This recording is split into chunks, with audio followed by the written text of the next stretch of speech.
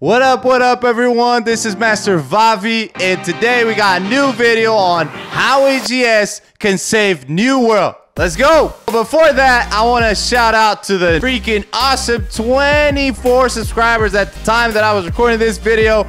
My new subscribers, bro, I'm in, truly in love with these people, even though 90% of them are fake accounts that I created for myself. Jokes aside, real quick, watch this awesome clip from my last video. People are going bonkers because this was insane. Now just cut the crap hit that subscribe button, hit that like button, and do whatever. I know, I know, awesome, right? Let's go to this video. Yeah, sure, you could say, oh, I'm so important that I think I can tell AGS what to do. Anyways, I'm gonna give them five freaking ideas for them to try to save New World, even though I think it ain't that ruined, but they need to do something to bring players and maintain those players. Let's get into that. Some of these ideas came from myself, some of them from talking with people, with some friends. Some ideas came from like watching forums online and stuff. So I'm not the brightest guy in the world, all right? We know that. It's not the most amazing ideas for some of you. It's hard to please everyone. One thing they need to stop doing is like listening to everyone. There's a lot of dumb people out there. Stop listening to dumb people. That's a bonus one.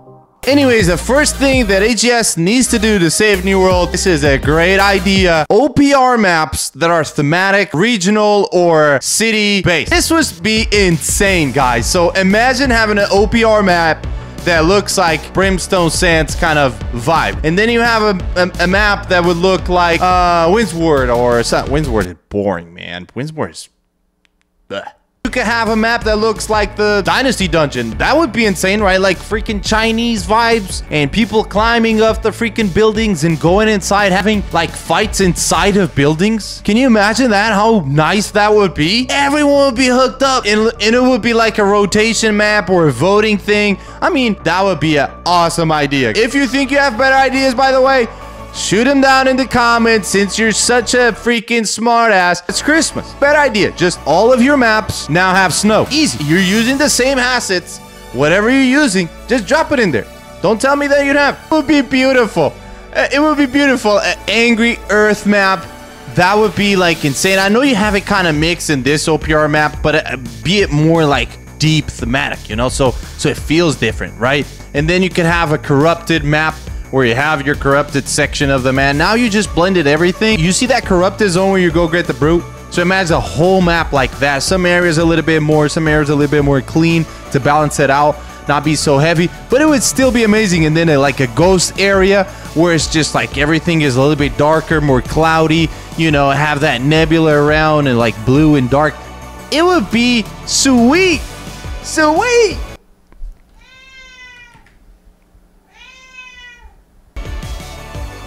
Second idea, this needs to be done without a shadow of a doubt. AGS, my friends, my boys, listen to Master Vavi that will give you the wisdom. Server balance stability. You need to nail this out of the coffin, bro. You need to do this, boys.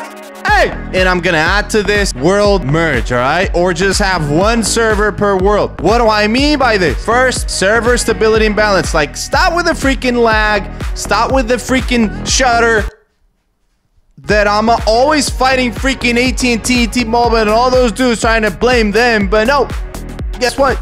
It's AGS. You guys need to do it. Why did I add world merge or server merge or have one server per region? Like, I know I'm talking with some terminology here that might not be very technical. If there are more players, means the game is more alive. If the game is more alive, Shit. More players seen means the world is alive, and if the world is alive means the game is alive. There's less queue times, and people like that. People don't just like to be sitting and waiting. You have a bunch of these servers that it's just like freaking empty. Just put them all together, merge them. We don't care about the warlords. Screw them. Screw them. Let them fight each other and do all their things.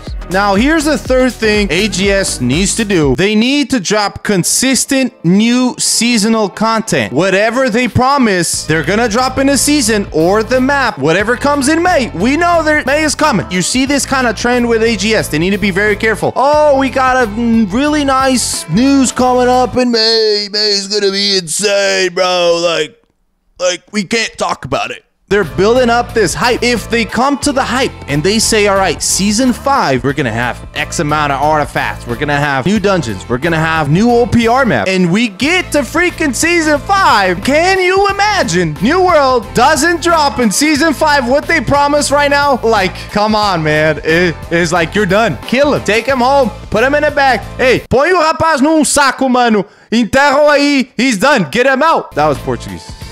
I forgot. Everything that you promise AGS needs to be delivered. I don't care if you delay it. I don't care if you delay it. That's fine. People can live with the delay, but you cannot cut, then delay, and th then still drop like it's broken. Oh, oh, oh, you guys messed up big time this last freaking season. You removed content, you delayed it, and it's still getting broken. Obviously, people ain't gonna be on your side. You guys come and do some nice Q&As, and you guys are brutally honest, and you don't skip comments that are bad for you. Hey, man, I respect that. All right, Scott. All right, Dave. I respect that. Like, you guys are tough. But eventually, if you don't do any of these things, you ain't gonna freaking save it forever. You ain't. Train is gonna hit you, and it's gonna hit you like. The last two are gonna be kind of a niche thing. Fourth thing that AGS could implement some sort of system that allows you to buy houses or build houses outside of the settlement. Can you imagine freaking people just building freaking houses everywhere? You're gonna say, oh, it's too much to ask. I don't care. Shut up. It's not too much to ask. It's never too much to dream. This could be awesome for PvE player. Big majority of people love this game because of its PvE content. Saying, oh, OPR is what's been saving this. Yes, been holding it. But to save a game, PvE players, you know, they like to spend that money, brother. So imagine giving those money spenders that possibility to buy a nice house outside of the freaking settlement in the top of a mountain when freaking, I don't know, it would be beautiful. Beautiful. People will stay in the game. Make it super hard. Make it hard, right?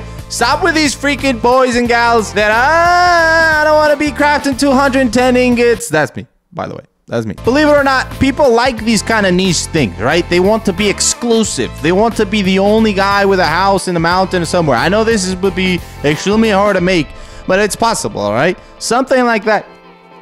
It's too hard, right? Too hard? Be sweet.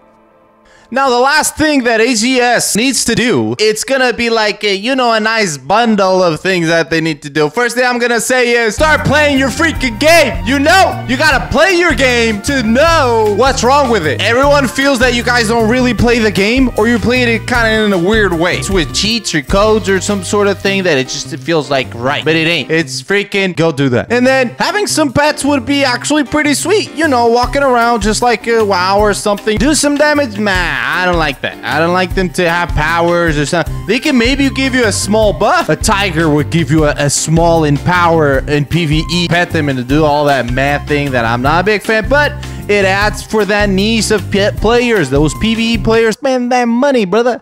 They like that kind of stuff. Spend that money, brother. I like both. You remember the Tamagotchis? Tamagotchis? You would say that in English? Tamagotchis, that thing that you just had to feed it all day. People like that. They will come back every day to feed the freaking animal. Or transmog, you know, plates that you can farm and more event bosses. Why is just one Yeti? Do two. This idea is really interesting. Alchemist, arcane, ability to create glows for your weapon. Oh, it already exists. And it does, but I don't want my gun looking freaking red or yellow. Anyways, if any of you guys liked whatever video this was, about, you know, hit that like button, hit that subscribe button. Thank you so much for watching. And don't forget to tell someone you love. See you.